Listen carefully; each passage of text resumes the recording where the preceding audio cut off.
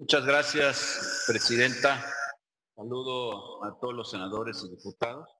Quiero iniciar, antes de abordar directamente el tema, por algunas cosas que vale la pena hacer reflexión y hacer un llamado de atención, con, muy respetuoso, pero es un llamado de atención a la mesa directiva. En el reglamentillo, como comúnmente se conoce, este documento que da forma y modo a las sesiones de esta comisión, se establece un orden del día y una prelación de los temas. De manera arbitraria, la mesa directiva toma un acuerdo y cambia el orden de las cosas. Se habla de que tiene que primero eh, desarrollarse agenda política. Por cierto, no se restringe ahí el número de temas. Esto basará la historia de esta sesión por una sesión que se recordará por los acuerdos Mordaza, porque se restringen los temas, porque se altera el orden. No tiene facultades la mesa directiva para modificar lo que está establecido en ese documento que conocemos como reglamento. Paso ahora a comentar también algo que es de llamar la atención. Lo que está pasando en este momento, ahora en el Senado, en el Congreso de la Unión, diputados y senadores en conjunto, pasará a la historia por ser una sesión inútil. ¿Por qué lo digo?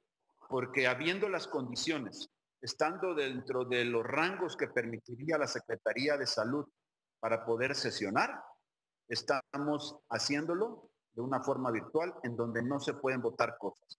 Dio cuenta la mesa directiva precisamente de los cambios que se proponen a comisiones de esta comisión permanente y no se pudo llevar a cabo porque se especificó que no se pueden votar cosas. Quiere decir que en sesiones de esta naturaleza no se pueden llevar a cabo ningún tipo de discusión ni votación.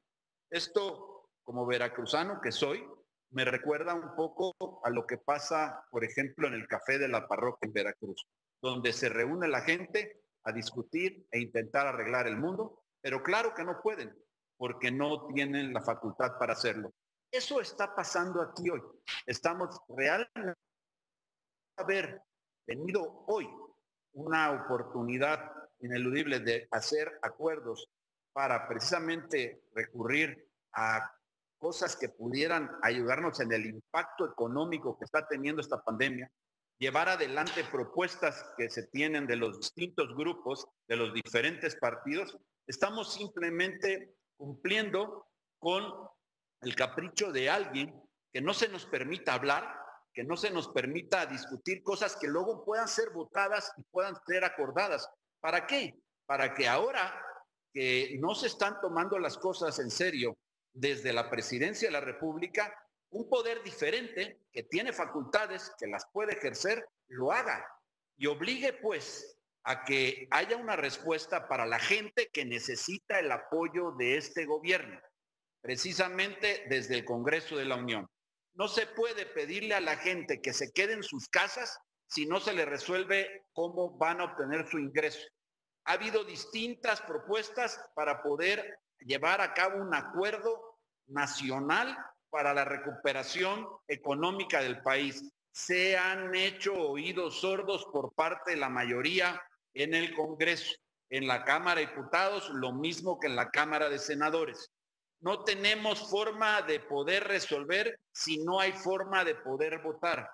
Yo comino pues a que podamos estar en condiciones de que sea esta la última sesión, porque no hay necesidad de que sea a distancia. Podemos hacerlo perfectamente de forma presencial, llevar los temas ahí, a donde hay que discutirlos, a donde hay que valorarlos y a donde hay que votarlos para poder resolver muchas de las cosas que están pidiendo todos los ciudadanos de México, sin distingo de partidos, y que poderlos ayudar a resolver esa problemática que tienen. Se está muriendo la gente. Hay una pandemia. Es mentira que se está aplanando ninguna curva. Los hospitales están llenos. La gente no tiene cómo sostener a sus familias y no aciertan a poder llevar a cabo una sesión presencial para que podamos votar cosas que como no resuelve el Ejecutivo, podamos desde aquí obligarlo a hacerlo. Así que respetuosamente pido que no vuelva este Congreso en, a través de esta comisión permanente a simplemente perder el tiempo como si fuera una plática de café en donde no podemos resolver nada sustancial para el país como debiera ser nuestra obligación.